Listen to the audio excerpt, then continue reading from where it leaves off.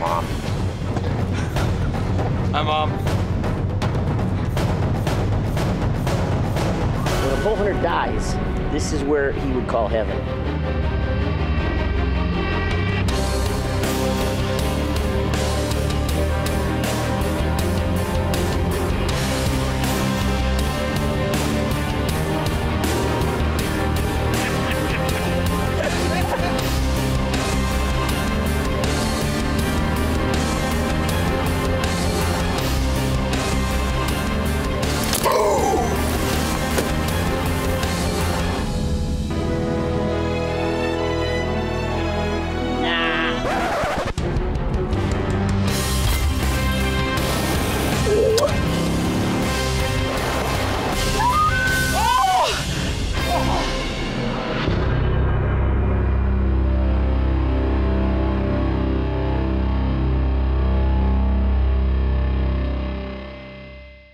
Welcome to this week's Archer's Choice. This week, well, I'm heading west. That's right. You're heading out to Archery. Colorado for Mule some mule deer, deer hunt. during the rut. there you go. You know, what was really cool is, you know, I was invited. You were not invited. I was invited, and you took my invitation. Well, you drew an Iowa tag. I didn't, so I And figured that's not my fault. I would I would seize the opportunity.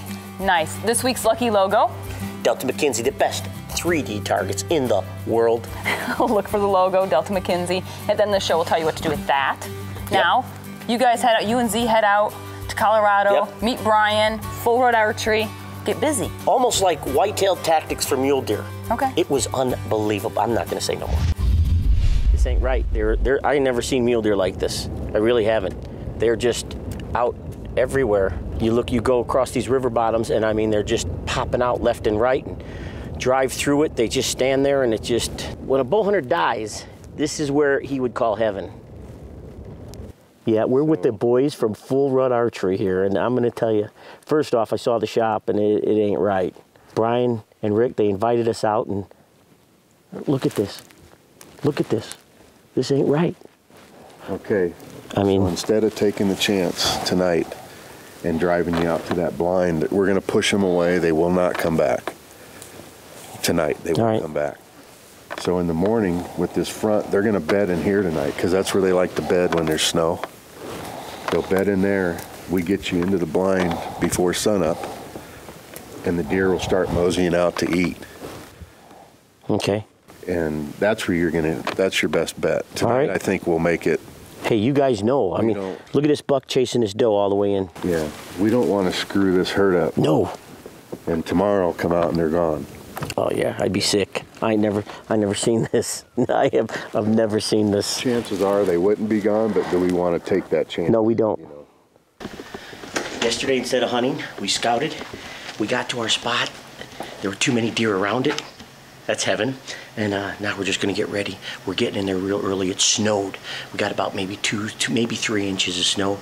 They said all those mule deer work back in those cottonwood draws, and then they'll start feeding out to the alfalfa. Well, our Ameristep ground blinds in the alfalfa, so we got Brian. He's good. We, we know what we're doing. Let's do it. You know, the first morning, sun comes up, and I mean, things are going. We got snow on the ground, and we could we could see deer milling around all in that creek bottom in those cottonwoods and everything. And as the day continually warmed up, we could start seeing those deer filter out, coming closer and closer and closer.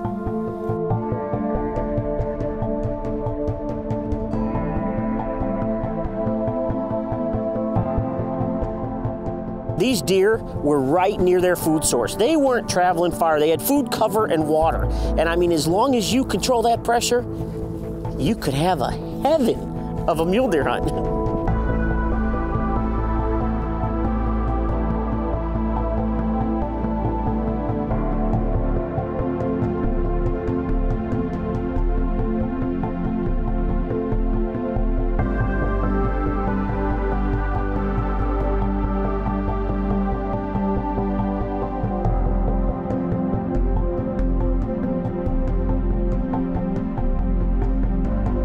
That first morning, we had deer all around us. We just couldn't get one of those big bucks to come close enough.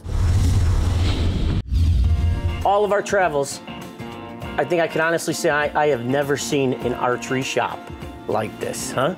Yeah, well, this is out here at uh, Full Rut Archery, and uh, we're out here in Elizabeth Parker area, Colorado, and this is our bow shop. Let's check it out. This place has its own kitchen, a restaurant. How many ranges you guys got? Uh, we got three ranges. We got the the big downstairs one. We got a little downstairs one. Uh, the big one here, we shoot 20 yards. You can shoot 30 yards over in uh, bigger one for downstairs, and we have an upstairs range where we can shoot 3D and everything else. Check it out. 30 yard indoor range, 20 and 30. Now it even gets better. Now, do you understand? This is all indoors. Check it out. They put these butts on wheels so they can actually, everyone can shoot at the same line and shoot at different distances. Then, they have an indoor 3D range. I wish it was near the house.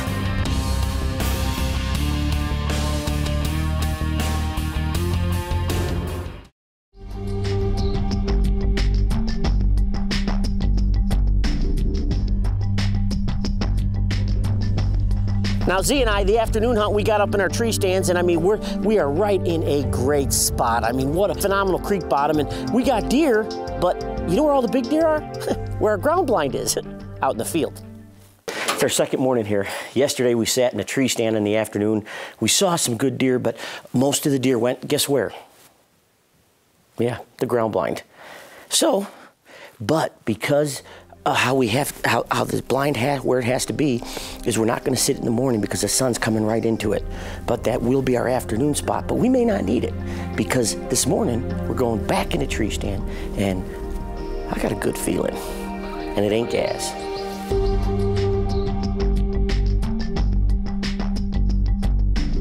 We just had a hope as we watched all those deer start to come in that they were going to come through to get to the bedding area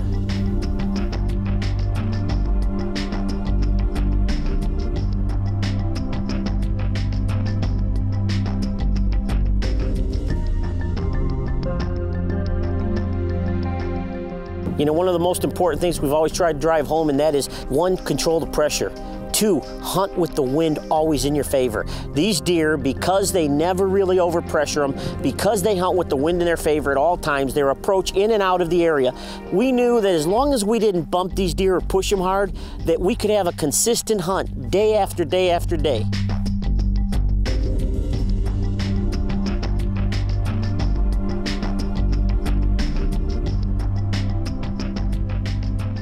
We're sitting in a tree stand right in right in a phenomenal, I mean, creek bottom, and those deer were piling in to where we were, and they were bedding down, but our ground blind's out in the field. And Z and I are watching all the big bucks in the field.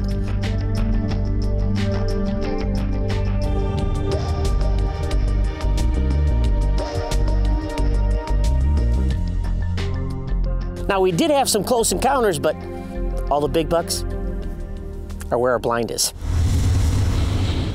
On the second afternoon, Z and I made a decision with Brian. We said, you know what, we're going back to the blind. I wish Vicky was here. Yeah, I know you do. Everybody does. Because it's working ranch, these animals are used to vehicles going in and out of those fields. Brian used his vehicle to either drop us off at the ground blind or get us close to the tree stand. This way, if we did bump any of the deer, they weren't running off. They know it, they're used to it. They just would walk off and then come back in a natural state.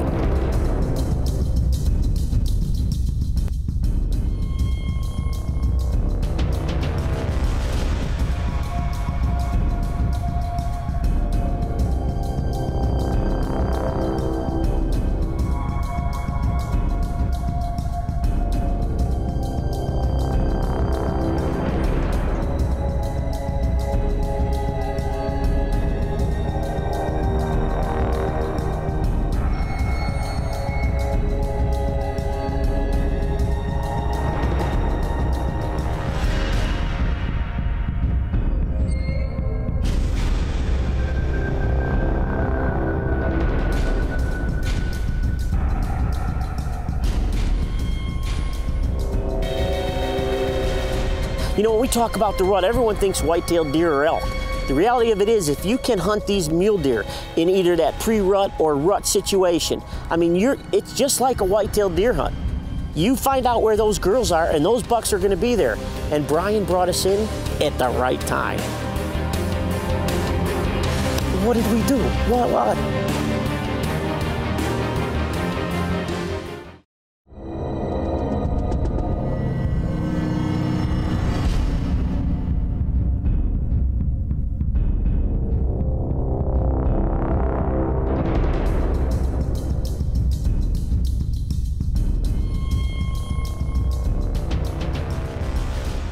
Growing up, did you ever go to a candy store or a toy store and mom and dad said, no, you can't, you can't do it, you can't have it? That's how we felt. We're in the ground blind. Everything is right. The wind, everything. These deer are coming out. They're filtering out more and more. The big bucks are on their feet. Everything's coming. They're coming this way. What do they do? They walk on the other side where we have no shooting lane, no window, nothing, absolutely nothing. And they're less than 20 yards. And Z and I are like, what did we do? What, what?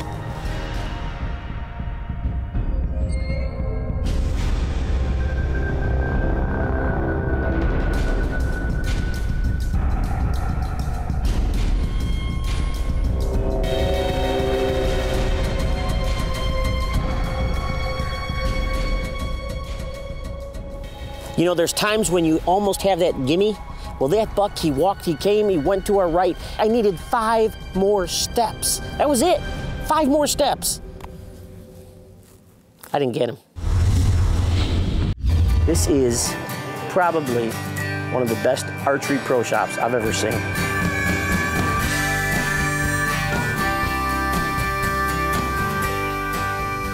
You know, full rut archery, when Brian and, and Rick and all, they described it to us, we had no clue. This shop is unbelievable.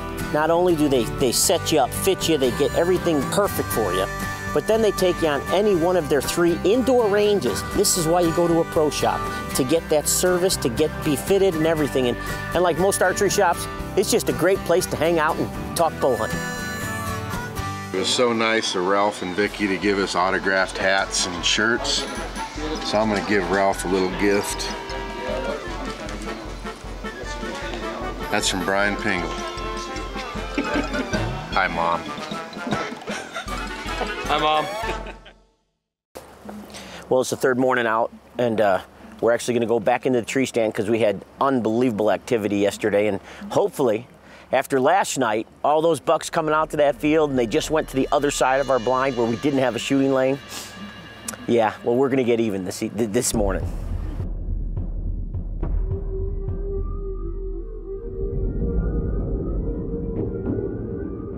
You know, as the light's coming up, we could see deer, and they're starting to meander, and starting to feed out of the field. And we could see, we could see some of the big deer, and they're just going. So I gave a couple grunts, trying to let them think, "Hey, there's a buck in here. He's tending a doe. Man, you better come check this out." And we could see that this one good, this shooter buck is going back and forth, back and forth on these does, and well, it's almost time.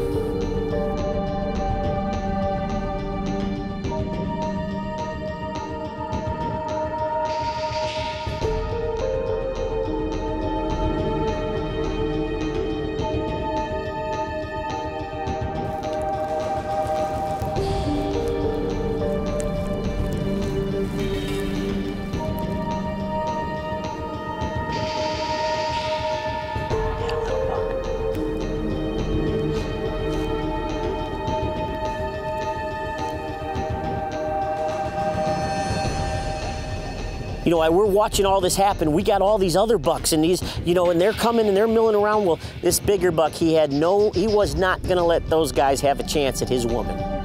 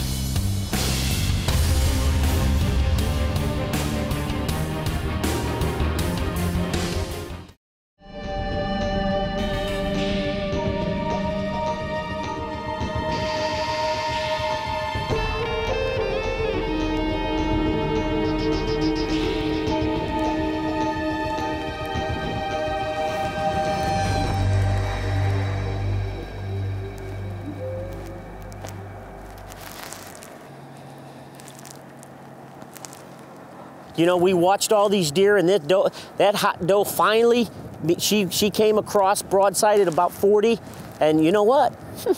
he was following. So all I had to do was, well, I let that spider bite.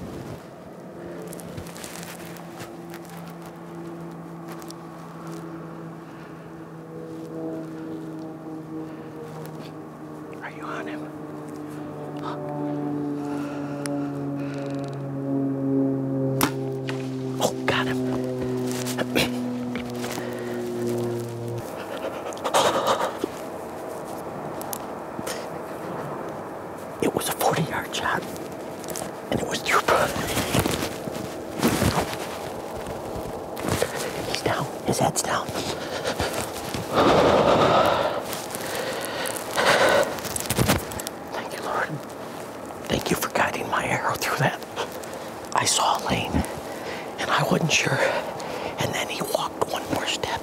Was sure.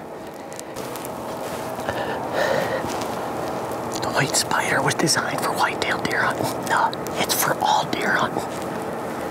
40 yards.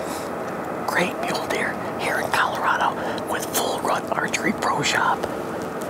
My buck is down, baby. We came in this morning, just like we did yesterday. We're in the north side of the. And those bucks were running those does like crazy out in that field. It's, it's, a, it's a waiting game. Everything's in our favor. We just needed them, one of these does, to get hot and push him in. And lo and behold, they came. I was hoping they were a little closer. But that big guy upstairs told me now's the time. And we smoked him. The shot was just a hair back, but I'm shooting my Spitfire, baby. He didn't even go 20 yards. Laid down, we gave him 30 minutes. And he's down right there.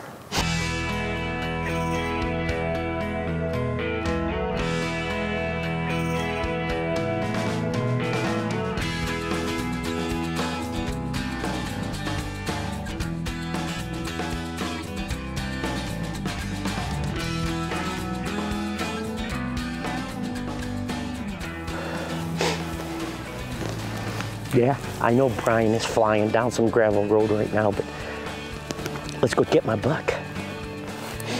Yeah, it's a little far back, but there's a stand, here's the shot, and there's the buck. He didn't go far at all. Spyder, baby.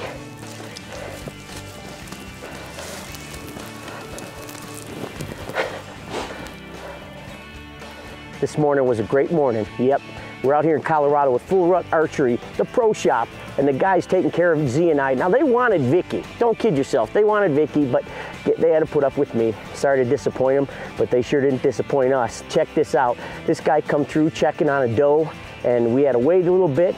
He presented the shot. We took it. We let the Hoyt Spyder do its bite, and you know what? Hoyt Spyder is not just for whitetails.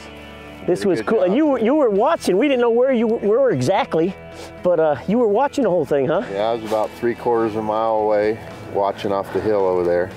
I didn't exactly see the arrow go in, but I seen the deer scatter, so I knew you shot.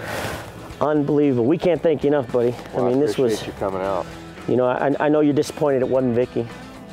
Yeah, I mean, you could go on. See, go on. You've been busting my chops the whole time. Now, now We, watch. we like Vicky too. Yeah. next year. Next year. Well, buddy, Stay home and yeah, Vicky come out here. She would too. Don't worry. Congratulations on my mule deer. You're mule deer. Oh yeah, it was my invitation. No, it was. They just they said that because they didn't want you to feel bad. They really, really enjoyed that I was there. Mm, yeah, no, I don't think so. There's probably proof that that's different. No, I'm just kidding. hey, thanks, Brian, everyone at Full Archery for getting What him out of the house shot, so he guys. wasn't so he wasn't pouting the whole week that I was gone. Oh wow, Yeah. wow. Yeah. Brian, we feel. Come on, buddy. You know, This week's lucky logo. Delta McKenzie, the That's ultimate right. 3D targets, If you the best to- in the world. If you happen to see the lucky logo of Delta McKenzie, you need to log on to archerschoice.com, click on the lucky logo button, fill out some information, and someone's going to win a Delta McKenzie target and some other great stuff. Next Well, week, Next week, we're heading back up to Alberta, bearing down with Big Bear. Big Bear Country. Yes, That's right. ma'am. There's some big bears up there too, right? Yes. All right. Hey, thanks, Brian, again. Full Rut Archery for getting him out of the house. We appreciate Nice it. Nice shop, guys. And thanks for watching this week's Archer's Choice. We'll see you next week, same time, Same channel right here on the Archer's Choice. And really, they just said that so you felt They you didn't, feel didn't. bad. They didn't want you Brian, they wanted me. They really. They.